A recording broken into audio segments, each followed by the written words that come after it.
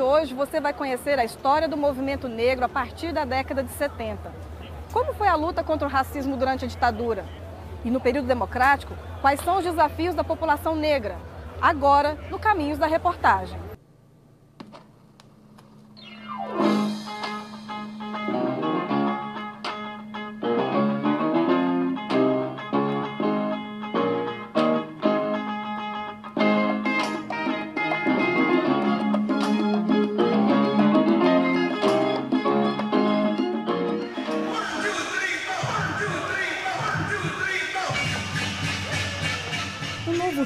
Chega ao Brasil e toma conta do subúrbio do Rio de Janeiro. A coisa começa lá exatamente no final dos anos 60, né? quando chega ao Brasil de forma é, bem calma e tranquila, até silenciosa, esse material da black music né? americana. Música black, leia-se né? o soul de James Brown. Baby, baby, baby esse material chegava ao Brasil timidamente pelas rádios, por meios de aqueles que traziam para o Brasil normalmente material clandestino, né? leia-se aeromoças e até mesmo as empresas que importavam legalmente. E culminou com a vinda do James Brown ao Rio de Janeiro, no Canecão, e faz um baile black que foi apoteótico.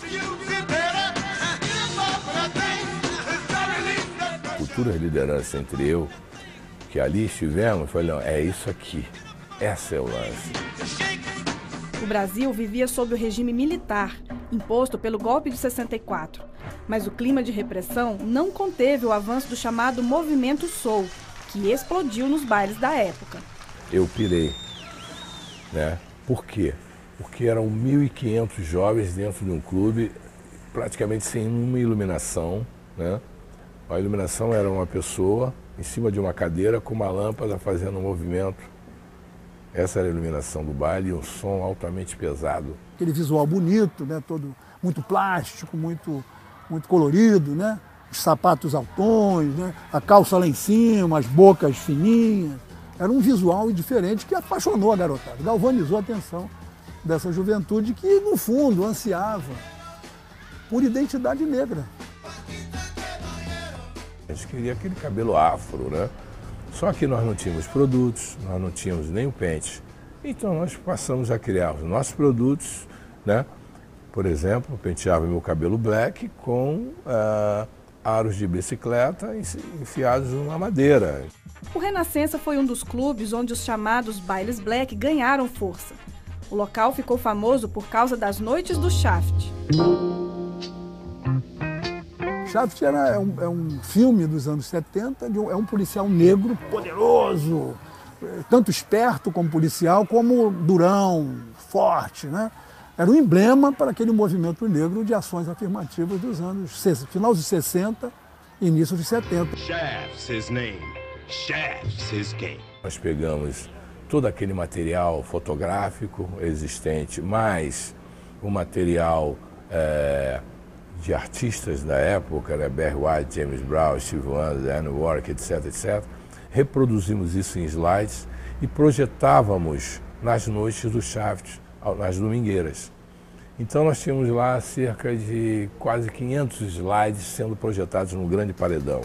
Nós captávamos também no público as pessoas, o grande público, fotografávamos e ali começávamos silenciosamente a criação da autoestima, né, da consciência racial.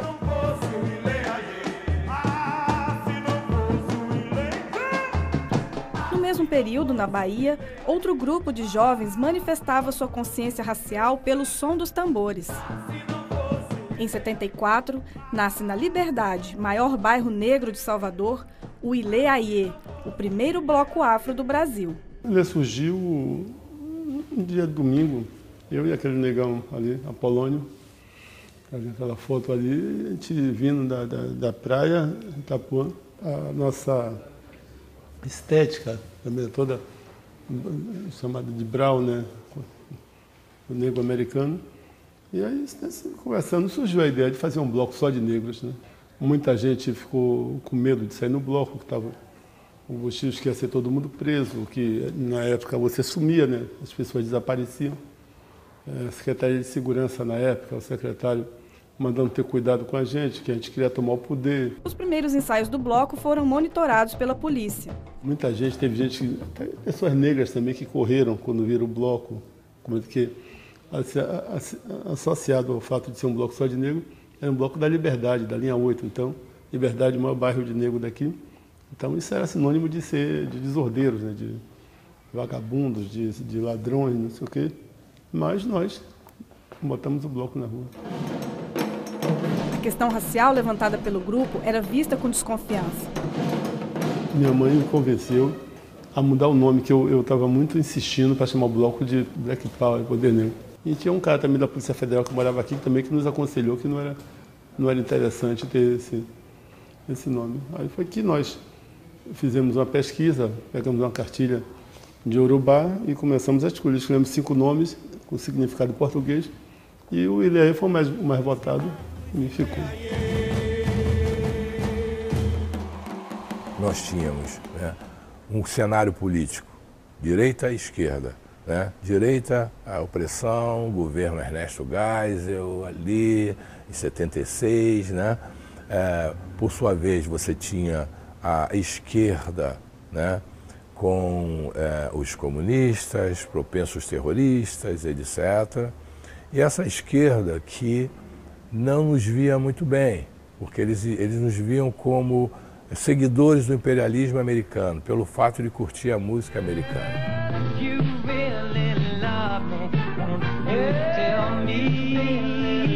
O pessoal do movimento unificado não aceitava essa forma nossa de, de reivindicar. Eles achavam que a coisa tinha que ser muito política. E nós acreditávamos que a política tinha que ser junto com o cultural, a gente tinha muito mais força. Com os blocos afro, você fazia essa revolução na rua através das músicas, você se encontrava, da festa, você ia passando as mensagens. No outro dia, dia de sábado, segunda-feira, domingo, os meninos estavam cantando as músicas. Eu tenho orgulho, negra lindo. Você tinha no momento, no cenário mundial, os direitos civis, direitos civis, leia-se Malcolm X, Martin Luther King, né? E os Panteras Negras, nos quais nós nos identificávamos. O que, que eram os Panteras Negras, para quem não sabe? Né? Era um movimento que foi criado para mudar, tomar conta da violência policial que os negros sofriam dentro das comunidades. Estava precisando desse sentimento de negritude, sabe? As pessoas estavam, assumiam muito timidamente, né? As pessoas não queriam, tinham medo de ser negro. A nossa arma era a cultura. Isso nós criamos. Então, esse desenho foi um choque aqui no Brasil, principalmente para os órgãos de repressão. Aquela famosa dura na rapaziada, e aí, cascudos, violência contra a garotada, quando eles se afastavam um pouco dos bailes, né? já madrugada, e aí se batia, se prendia. A gente tinha um Galaxy preto na época, né? E usávamos roupas pretas, muito ligadas àquela visual do Pantera Negra. Né? Isso fazia parte do marketing de cada, cada equipe de som, tinha uma linha, tinha um marketing. Né? Isso fez com que eles também é, nos identificasse fácil, fácil. Então, saindo de um baile, fomos convidados, né? docemente, um capuz na cabeça, botaram no camburão, acredito que seja um camburão pelos barulhos das portas, pá, pá, pá, e levaram para um local que mais tarde vim saber que era o batalhão de guarda da PE, né? aqui na Barão de Mesquita, em Praça Santos Penha. Isso não adiantava, cada vez era um maior número, grupos grandes, e ficava mais difícil porque teria que deslocar maior quantidade de policiais. Se confrontaria, ficaria mais visível a questão racial. Então houve um cuidado maior da polícia. Mas lá as perguntas, e em cima de, sem tirar o capuz, quando tiraram uma luz muito forte, que deu um milhão de dólares que a CIA botou para você fazer esse movimento, umas coisas sem nexo, né? Acabaram por me soltar, sem nenhum problema físico, era muito mais psicológico, né? nós vamos acabar com isso, isso vai acabar, isso aí tem prazo, não sei o quê, etc, etc. E aí, sim, aí a repressão se abate sobre a questão administrativa das equipes, questão financeira, de como se compra ingresso, como é que se cobra. O movimento chegou a fazer sucesso na mídia, até perder espaço para a moda da discoteca. E aí vão amordaçando, apertando, apertando, até o momento que tornam essas equipes é, inviáveis quase. E aí morre esse movimento, ele é, ele é espremido mesmo. Mesmo artistas que já eram famosos enfrentaram a discriminação. Cheguei num clube para fazer um show e eles não sabiam que eu era Elza Soares. Fui tentar passar, botar na mão e disseram, você tem carteirinha? Eu falei, carteirinha de quê? Carteirinha, você é sócia? Disse, não. Ué, então você não pode entrar. Eu digo, como não posso entrar? É, porque é a ordem que a gente tem aqui que. Falei que negro não entra, não é isso? Não, é que.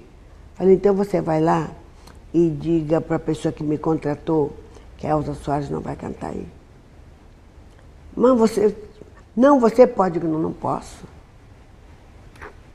Não posso. Porque se a Elza Soares posso entrar, não posso, meu amigo. Meu nome é Elza Soares, mas a pele é, é essa que vocês não querem que entre aí. E não fiz o show. Já as escolas de samba cresceram no período. O povo em geral é, começou a aderir à escola de samba. Aí os ensaios, as mais. O samba já era um lugar muito tomado, assim como dizia antigamente, tomado pelo branco. Aos poucos, a, tanto a mídia quanto os, os meios de comunicação, quanto a intelectualidade, né? Muito estrangeiro foram chegando e tomando conta do samba. Nos desfiles da época, prevaleceram enredos alinhados à ideologia do regime. Por exemplo, a Beija-Flor fez o enredo chamado Brasil no ano 2000, que era um enredo fanista, que era um enredo que previa o crescimento do Brasil. É, a Mangueira teve um que era o Correio Aéreo Nacional, os ensaios eram feitos no Clube Maxwell. Muitos agentes do DOPS iam para lá. A gente sabia porque eles eram tão diferentes dos outros, das outras pessoas, que dava para desconfiar. A contribuição dos negros para a cultura brasileira também aparecia nos enredos, mas sem destacar o tema do racismo.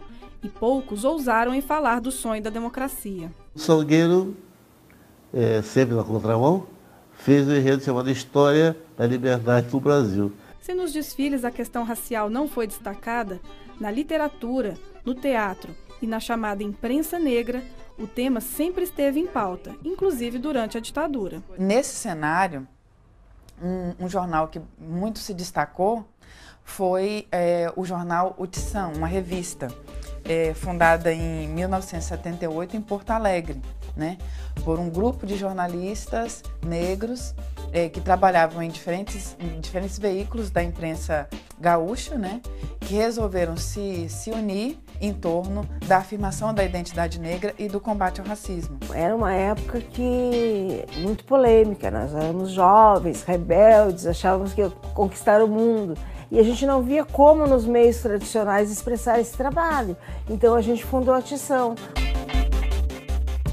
ela é essencial para a gente perceber a, a multiplicidade de questões que mobilizavam a comunidade negra brasileira e que davam a dimensão do quanto a questão racial é, permeava todos os espaços da sociedade, né? As pautas do Tição hoje, elas são super atuais. Nós fizemos pautas sobre as empregadas domésticas, sobre o jogador escurinho. Uma das, das capas foi um ebó que causou grande polêmica, né? Subestimavam o potencial crítico dessa intelectualidade negra.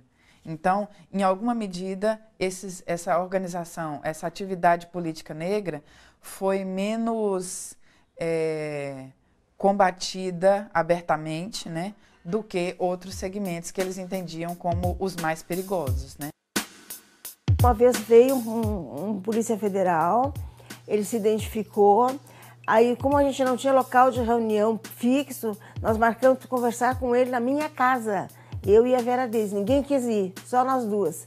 Enfrentamos o, o Polícia Federal. E ele foi, nos inquiriu e tudo, nos questionou, mas ficou nisso. Um dos fundadores da revista Tição, o poeta Oliveira Silveira, lutou pela criação do Dia da Consciência Negra. A data escolhida foi 20 de novembro, quando morreu Zumbi dos Palmares, um dos maiores símbolos da resistência negra.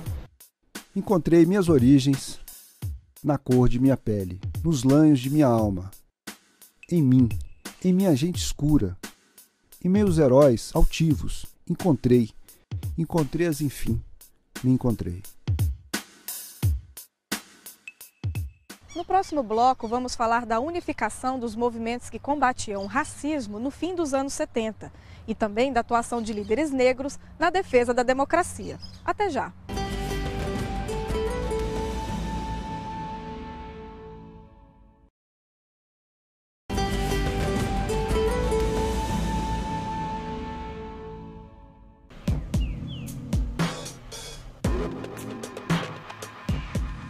Eu conheci ele num casamento. Aí nós começamos a namorar. Isso durou cinco anos. Depois eu engravidei, aí tive de casar. O marido de Sueli, Robson da Luz, tinha 22 anos quando foi preso roubando frutas de um feirante em Guaianazes, na zona leste de São Paulo. O jovem foi levado para a delegacia do bairro. Pelo que eu sei, foi várias pessoas que pegaram as frutas do, do feirante. O único que pagou com a vida foi ele, era o único preto que tinha. E eu, eu, o menino falava, que o delegado falava assim, preto tem que morrer, né? Apanhou a noite toda, né? E o dia inteiro.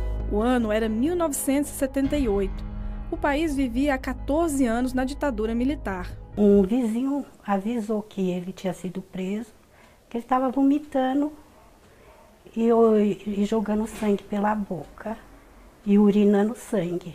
Aí nós fomos caçar, porque uma pessoa assim não pode ficar numa delegacia. Fui caçar no hospital. Falaram que ele tinha sofrido um acidente e tinha sido machucado por esse acidente que ele sofreu. Mas na verdade foi, foi uma tortura.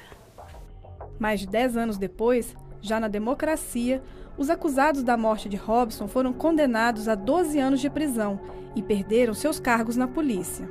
Se errou, podia estar preso. Não sou contra o castigo, mas não matar. Na época, a morte de Robson causou comoção entre os militantes negros, que realizaram um ato público contra a violência e o racismo em frente ao Teatro Municipal de São Paulo. A manifestação marcava o início do movimento negro unificado. Cada negro que for, mais um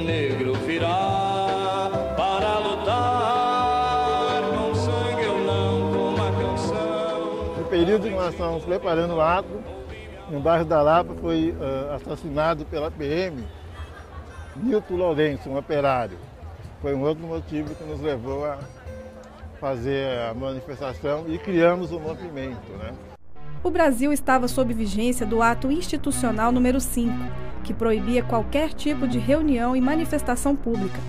Nós fizemos toda uma articulação é, para garantir a realização do ato. Tinha alguns setores mais à direita que participavam do, do, da discussão, eles nos forçaram a entregar uma carta para o Erasmo Dias, que era o secretário de Segurança Pública, e nós fomos entregar. Mas quem pode garantir que nós não vamos ser reprimidos? Porque é proibido, nós vamos fazer. Aí ele falou assim, olha, se no Brasil diz que não existe racismo, como é que eles vão reprimir quem está combatendo o racismo?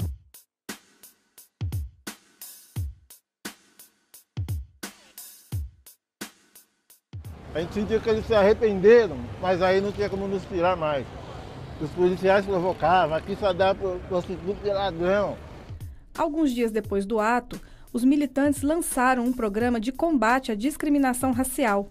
O documento reivindicava melhor tratamento aos negros em áreas como trabalho, saúde, ensino, cultura e pedia também o fim da tortura nos presídios. Como nós vivíamos sob ditadura, então as questões principais que nós tratávamos naquele momento era a luta contra a violência policial, contra a discriminação racial e por liberdades democráticas. O lançamento do MNU estimulou a formação de outros grupos em todo o país. Um deles foi o Movimento Negro do Recife, em Pernambuco. Conhecendo o documento do MNU, nós ficamos é, fortalecidos para continuar aqui. né, para também estabelecer uma organização. Vários grupos e lideranças negras já vinham atuando no combate ao racismo desde o período da escravidão. E o final dos anos 70 fica marcado pela rearticulação do movimento negro. Nesse período da ditadura, havia, o que pode-se dizer, uma unidade do movimento negro. O Brasil ainda passava é, por aquela euforia do chamado milagre econômico e era muito evidente o setor que ficou é, mais afastado das possibilidades de é, se beneficiar é, daquele crescimento foi efetivamente a população negra. A ditadura, ela não tinha interesse nenhum de se apresentar como racista. Este é um país que vai pra frente. Uma gente amiga e tão contente. Oh, oh, oh. O discurso do representante do Brasil é que no Brasil não existia racismo. Vivemos em plena democracia racial. E era exatamente essa direção que o movimento negro questionava. Quer dizer, para nós, o fim da ditadura, a volta da democracia, significava é, implantar no Brasil uma verdadeira democracia racial. Isso era visto como algo desarmônico e que iria contra toda a perspectiva daquele momento de segurança nacional que primava por uma, um coletivo uno, indivisível, e que era visto como democrático racialmente. Era um movimento que viveu é, durante uma grande parte da sua vida sendo rechaçado uh, pela direita por razões que a gente pode imediatamente compreender, mas por outro lado também sendo deslegitimado pela esquerda em função dessa suposta divisão que nós estaríamos é, causando é, na luta, na chamada luta geral da classe trabalhadora. Muitos militantes negros foram monitorados pelo regime militar. Documentos do Departamento de Ordem Política e Social comprovam a vigilância. É possível notar que há sim uma intenção de controle, de vigilância desses movimentos por conta dessa temática uh, negra e não somente por conta das ideologias que estavam circulando no mundo naquele momento. A gente encontra desde convite a uma festa Black Power, uh, que era um termo muito mal visto, entendido como um, um elemento estrangeiro que estava sendo uh, trazido e, e, e contaminando a juventude negra, bem como estatutos de movimentos, trabalhos de seminários nas faculdades, como PUC, USP, que traziam a, a reflexão de intelectuais como Abdias do Nascimento, entre outros, que traziam essa perspectiva do que é a questão negra, o que era a questão de classe, de raça, etc., e vão ser apreendidos, seja por arapongas próprios de investigação do movimento negro ou do movimento estudantil. Mas eles não queriam nos prender por estar fazendo o movimento negro. Embora lá no, nos documentos deles dizia que nós éramos de orientação comunista, aquelas coisas todas. Eles queriam armar flagante para cima de nós. De roubo, pegar com droga, e isso nós sempre fomos muito atentos. A lógica do DEOP sempre foi de acúmulo de informações o máximo possível. Então, às vezes, não necessariamente havia uma prisão desses militantes. Particularmente, falo por mim, tive nenhum assédio de ser chamada, para interroga, interroga, interrogatório ou coisa parecida.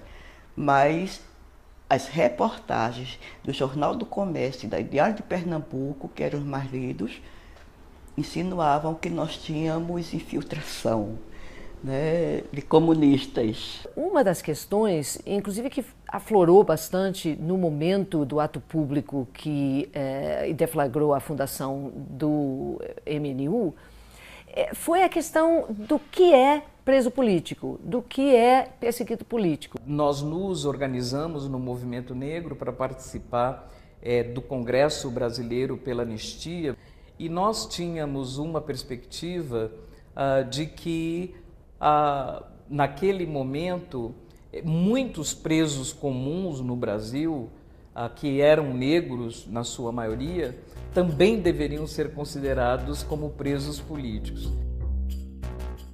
O racismo, sendo reconhecido como uma questão política que é, o fato de o negro ser perseguido nesse campo da prisão criminal, eh, criminal é, se torna uma forma de prisão, prisão política.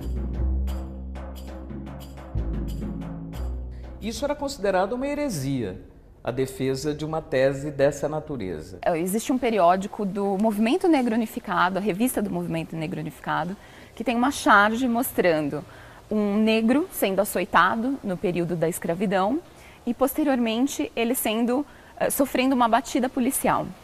Isso já era uma visão crítica da população uh, que se mobilizava nesses movimentos, vendo que o negro sofre muito mais com a ação violenta da polícia.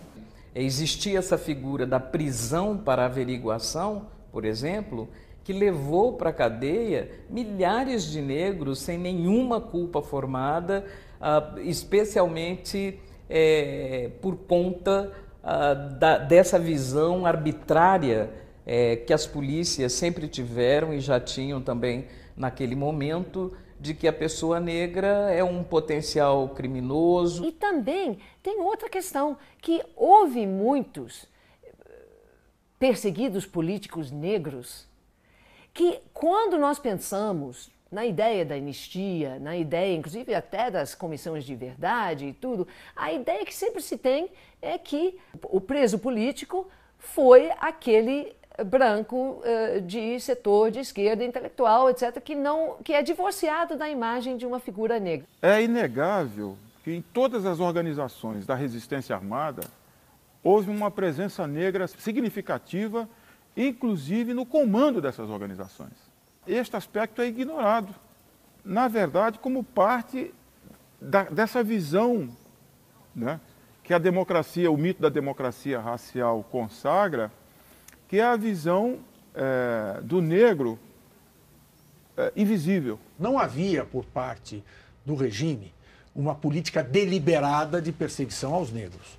Mas aqueles negros que, por serem militantes sindicais, por serem militantes políticos, eram uh, uh, uh, detidos, eles acabavam sofrendo com muito mais vigor né, os, os males da repressão, porque se somava a, o, né, o combate a, a, eles pela militância política ao preconceito social.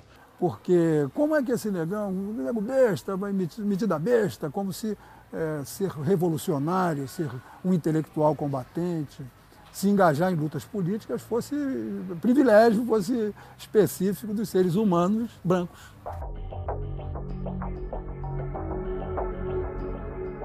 É, analisar o papel dos negros na ditadura significa concretamente analisar o nosso papel na história recente do Brasil e na história brasileira. Segundo um levantamento da Comissão da Verdade Rubens Paiva de São Paulo, dos 437 desaparecidos políticos da ditadura, 42 são negros. Entre eles, Oswaldo Orlando da Costa, conhecido como Oswaldão. Eles não sabia quem era, sabia que era um tio que tinha ido para o exterior, que estudava engenharia, mas não podia citar o nome dele. Oswaldão foi um dos principais combatentes da guerrilha do Araguaia. Antes de ingressar no Partido Comunista, foi atleta e estudou engenharia na antiga Tchecoslováquia.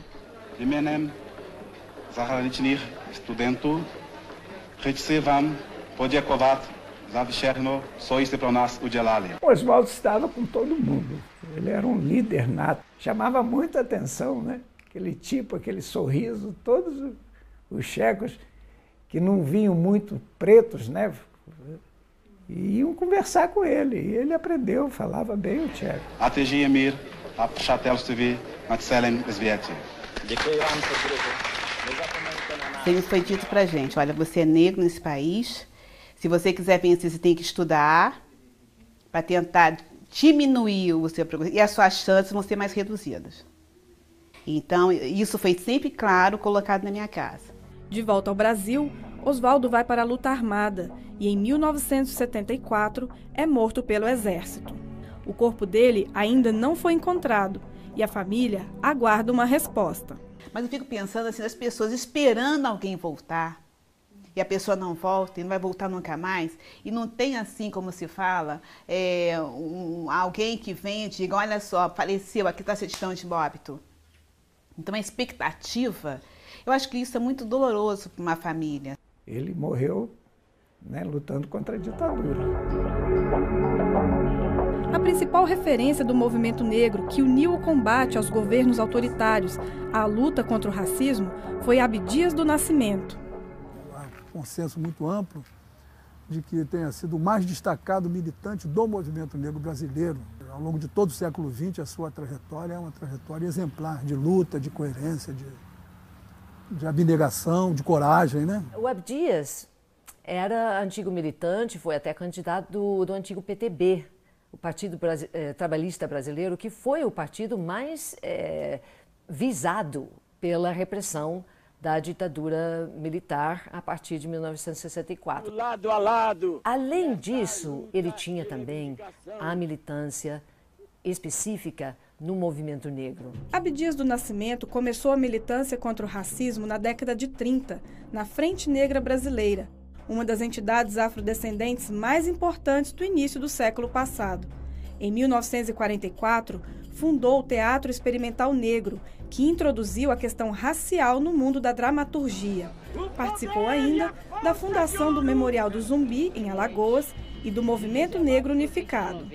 A atuação específica dele na área cultural e política em relação à questão racial foi a maior, o maior motivo uh, da, da perseguição dele nesse período. Tanto que, em 1968, ele uh, está no, nos Estados Unidos, em um, uma viagem de intercâmbio, e eh, quando ele deve voltar ao Brasil, vem o ato institucional número 5, em 1968, e ele é, é, é, impedido de voltar, porque ele tinha vários inquéritos policiais militares é, contra ele por conta dessa atuação política dele eh, no movimento negro. Depois de mais de 10 anos no exílio, Abdias voltou ao Brasil para se tornar o principal interlocutor do movimento negro no Congresso Nacional na reabertura política. Ainda no Brasil era muito eh, contestada a posição política de combate ao racismo, mas Uh, o Abdias, no Congresso, quando ele chega, ele consegue desmascarar esse, esse discurso de forma a ampliar o espaço uh, de discussão da questão racial. Num lugar de atuação, que é a Câmara dos Deputados, onde praticamente não havia isso antes. É graças à atuação desses movimentos negros, eh, desde o pós-abolição, com a luta dessas mulheres e homens que buscaram por melhorias sociais que a gente tem avanços hoje.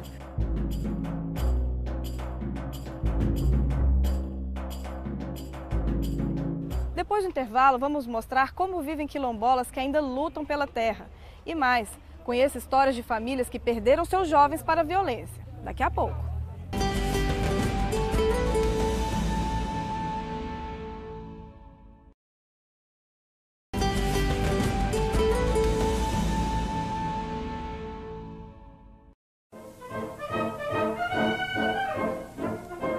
maio de 1988. O Brasil celebrava o centenário da abolição da escravatura. Nas ruas, o movimento negro apresentava outro significado para a libertação dos escravos no Brasil.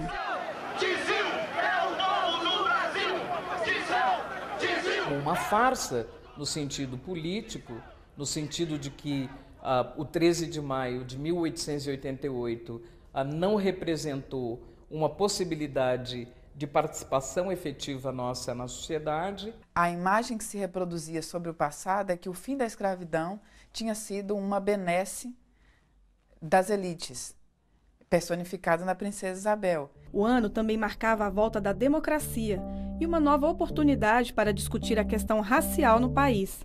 Na Constituinte, os militantes entregaram várias propostas, entre elas a criminalização do racismo os direitos raciais foram reconhecidos pela Constituição, que também abriu caminho para outras conquistas. O racismo foi finalmente considerado crime.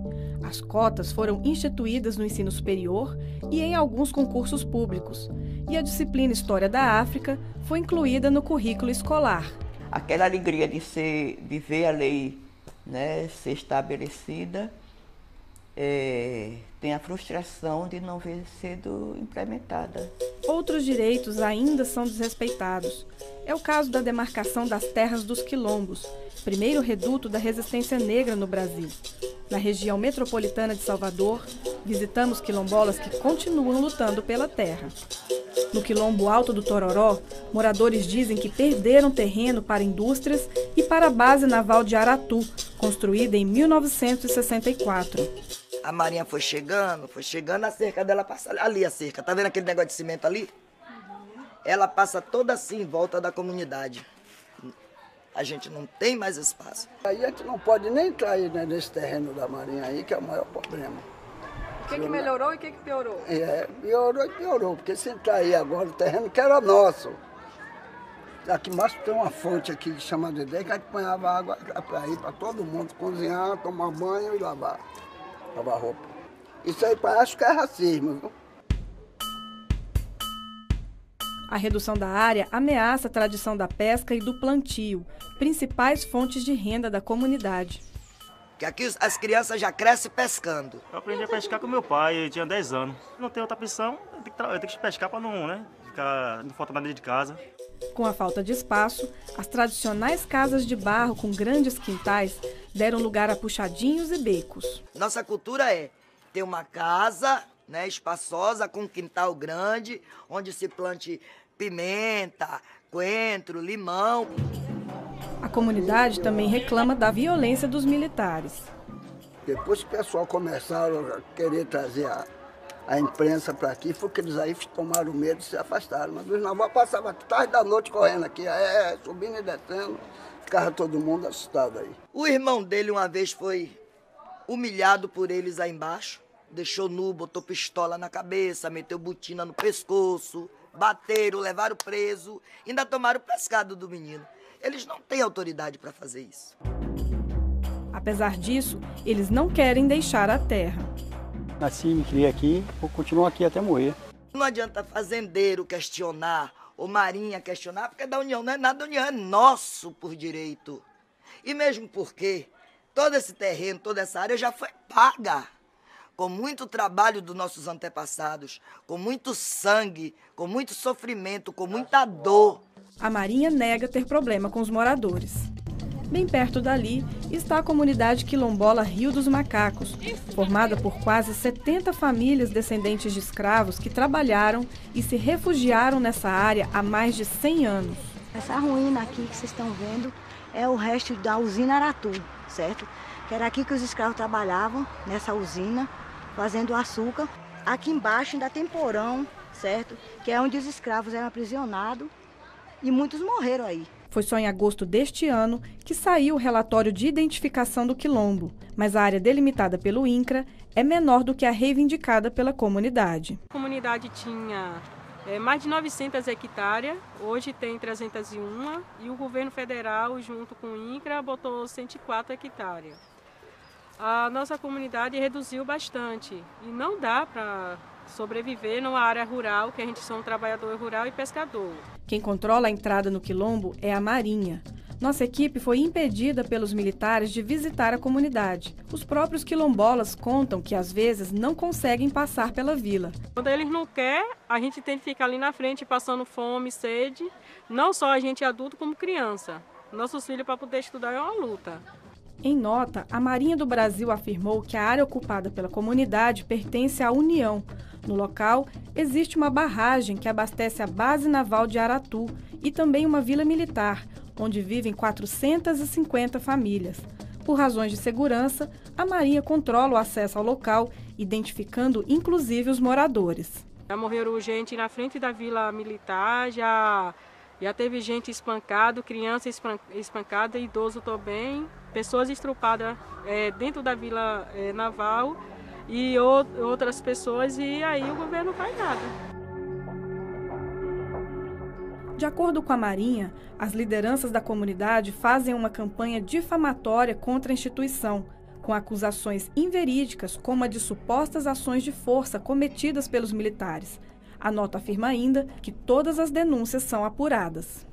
Pretos e pardos são as maiores vítimas de morte violenta no Brasil. Segundo o mapa da violência, para cada jovem branco assassinado, morrem três jovens negros.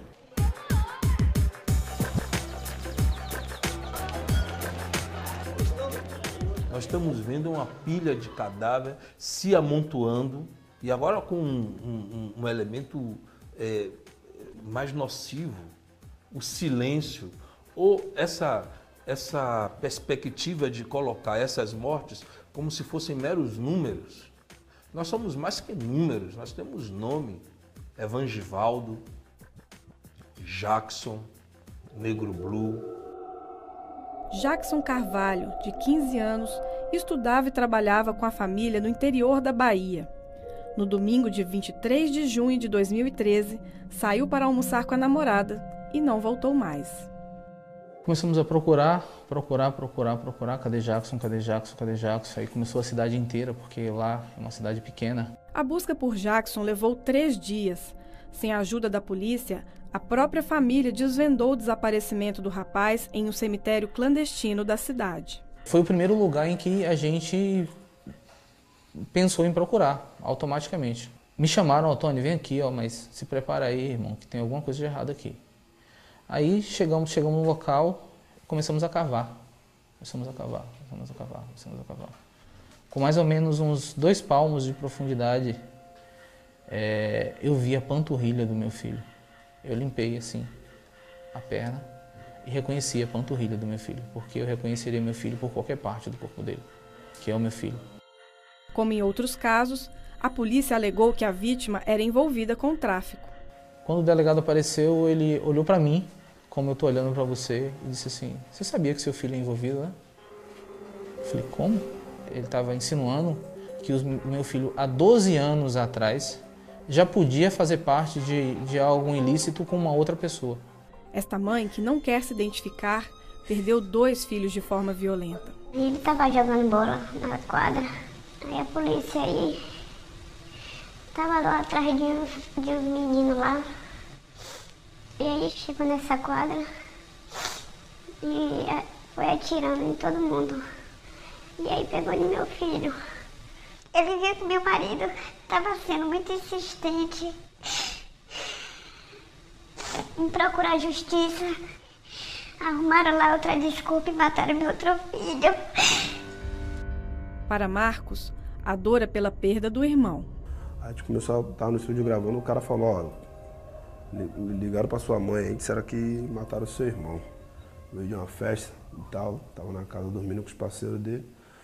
Polícia, né, com o processo de extermínio dele, né, invadiu, pegou meu irmão de busca, sem direito de defesa. Quando mataram ele, ele tava com viagem marcada para Argentina, para passar uma temporada lá tocando e dando aula. Né? ele, a polícia, a polícia brasileira ela tem um processo de, de cortar o sonho da molecada pela metade, né? Ela não só matou meu irmão, ela acabou com toda uma família, né, cara? Em busca de justiça, as famílias vivem ameaçadas e foram obrigadas a mudar de suas cidades. Algumas fazem parte de programas de proteção. Olho para um lado, vejo meus filhos. Olho para outro, vejo meus filhos. Enquanto não houver reparação histórica e humanitária, esses mortos não vão descansar e nós também não. Porque quem fez isso com meu filho vai, espero que vai, vai ter que pagar em algum momento. O Brasil ele virou, ele, ele virou um, um país tão terrorista para o povo negro, né? Porque essa matança aí parece mais ato terror, terror, de terrorista mesmo, que você para de sonhar crescimento no número de mortes motivou o grupo Quilombo X a criar uma campanha de combate ao genocídio.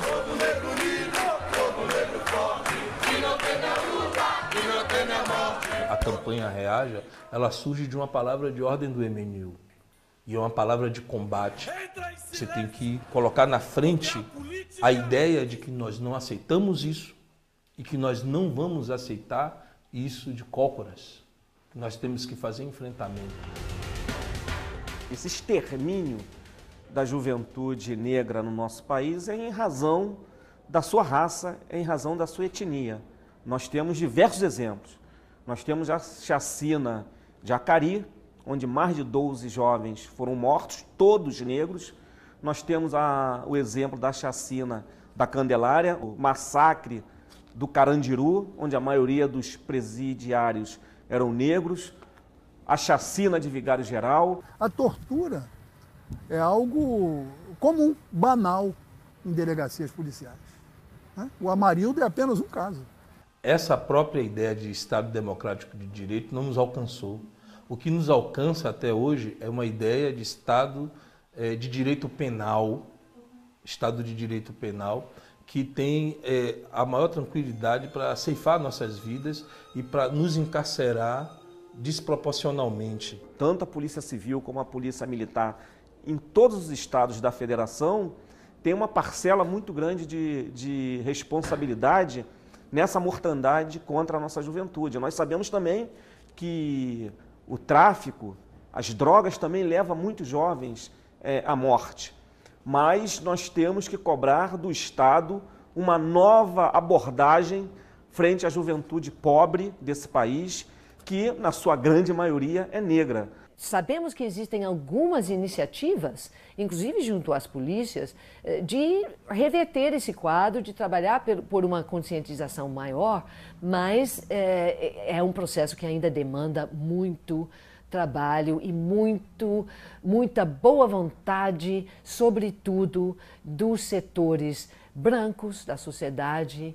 A gente tem que levar para dentro das comunidades carentes, onde essa juventude é a maioria, programas sociais programas eh, educacionais, programas de, de formação técnica, eh, programas que dê uma perspectiva de futuro para essa juventude.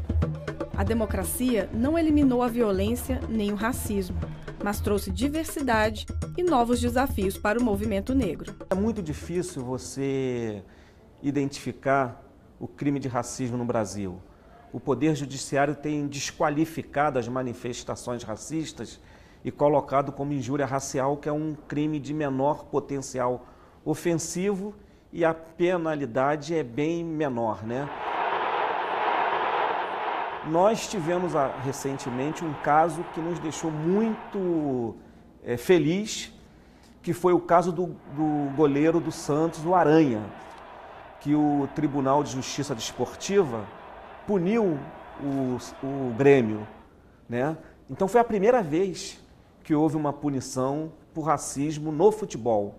Da parte do movimento negro, é, é sua responsabilidade criar, tanto teoricamente, estrategicamente, criar essas, esses mecanismos de intervenção junto à sociedade civil, junto ao empresariado, junto aos órgãos de Estado, para conseguir fazer, conseguir impactar, conseguir travar de fato essa discussão mais alentada, mais, mais verdadeira, mais densa né, sobre a questão racial no Brasil.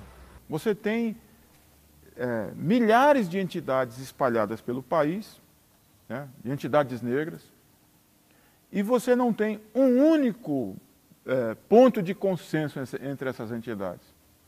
Você, tem, você não tem um programa, você não tem uma agenda, você não tem lideranças que sejam legitimadas e reconhecidas nacionalmente. Então, o que há é um processo de dispersão sistemático, contínuo, o que nos torna absolutamente frágeis. Você tem hoje, ah, com um processo de organização bastante definido das mulheres negras, quilombolas, participantes de comunidades de matriz africana, de jovens negros. Rap pra minha vida me leva ao espaço, às vezes fico esperto com os planos do abestalhado. Essa multiplicidade é, de atores políticos, eu acho que coloca para nós também, é, nesse momento, a uma responsabilidade muito maior, que é a responsabilidade de, ao mesmo tempo é, que, re, que se reconheça a, a existência dessa diversidade, não se perder de vista é, quais são os vetores principais é, da luta contra o racismo é, no Brasil. Combater o racismo e promover a igualdade racial. Isso é o que unifica o movimento negro. Brigar sutilmente por respeito, brigar bravamente por respeito. O racismo nunca diminuiu no Brasil, ele está aí. Está no canto, ele é, ele é, uma doença sem cura, ainda não acharam penicilina, hidrostreptomicina, é, com a injeção para veia, nas paredes, nas árvores, nas ruas. Eu tenho esperança que um dia não vai ser, não vai ser preciso o movimento negro, mas por enquanto ainda é preciso.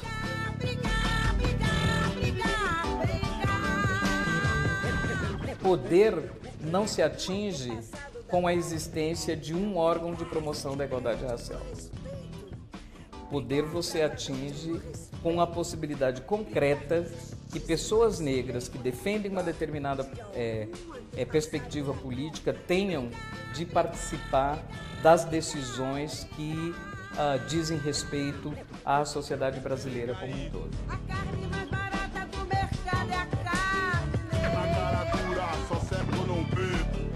A nossa agenda interessa ao povo brasileiro, porque sem a nossa inclusão não se pode falar em democracia.